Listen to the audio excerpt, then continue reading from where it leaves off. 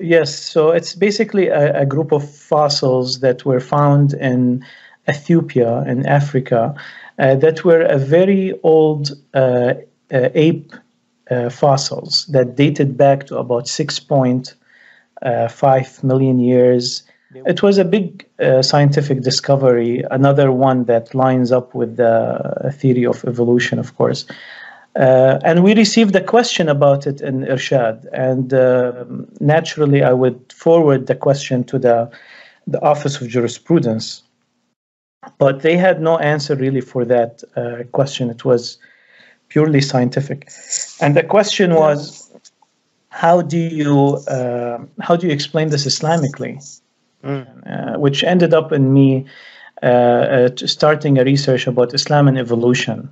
So uh, I started, uh, you know, learning for the first time, uh, really evolution.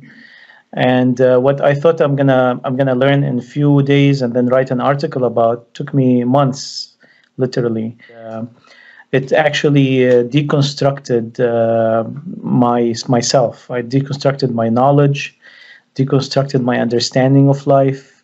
the whole model of life has changed with what science has has discovered for all these years that we you know it's uh, it's away from our public understanding you know. Uh, so i've uh, just understood um, um, the theory of, of, of, evolution. I could not reconcile it with uh, an islamic version. I could not mm. reconcile it with creationism.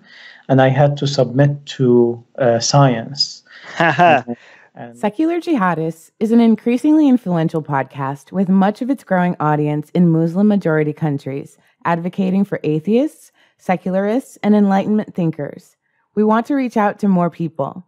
If we reach 500 patrons, we will be able to translate our shows into Arabic, Urdu, Persian, Bengali, Malay, Turkish, and other languages in these countries.